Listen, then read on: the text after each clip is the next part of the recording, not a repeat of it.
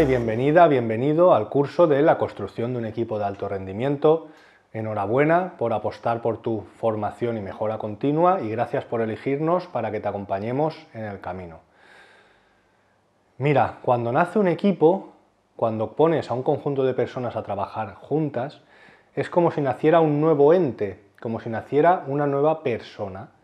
Y ese nuevo ente, esa nueva persona, tiene su propia personalidad, su propio objetivo o meta común, sus propios valores, su propio estado de ánimo fluctuante con los resultados y sus propios patrones de comportamiento, patrones de conducta o procedimientos de actuación. ¿vale? Es como si identificáramos, fuéramos capaces de poner en una única persona todo eso.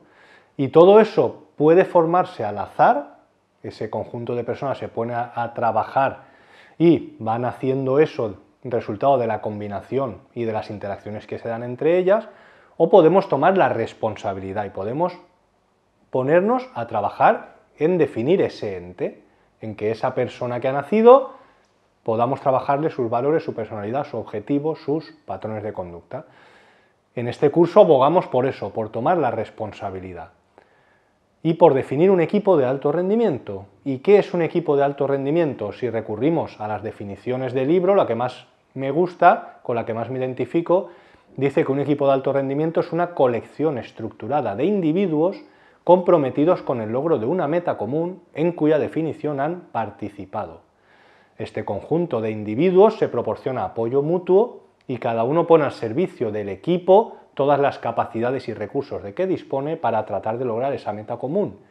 Meta común que por cierto es percibida por todos como más importante que su propio objetivo personal. Esta definición me encanta y si vamos desmenuzándola vemos que hablamos en primer lugar de colección estructurada. Quiere decir que para que un equipo sea un equipo de alto rendimiento tiene que tener una estructura, cuando hablemos de estructura, hablamos de las normas que van a regular el comportamiento de ese equipo, de ese ente y por lo tanto de las personas que están dentro de él. Hablamos de unos roles que van a marcar un funcionamiento, hablamos de liderazgo, hablamos de derechos, responsabilidades y funciones, por lo tanto ya nos está marcando un área de trabajo muy importante, área de trabajo que vamos a enfatizar, nos vamos a enfocar en el módulo 3.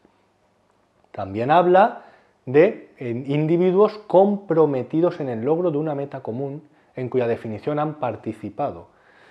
Para conseguir el compromiso de esos miembros del equipo es muy importante que consigamos que estén identificados con el equipo.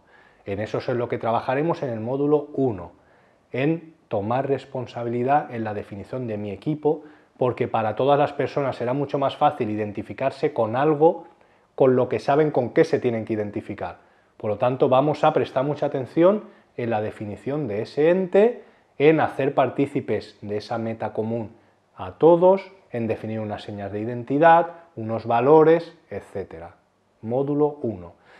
Y en el módulo 2 hablaremos de la interdependencia, de la cohesión, de eso que en la definición habla de entregarse al logro de una meta común, de poner al servicio del equipo todas las capacidades y recursos de que las personas disponen.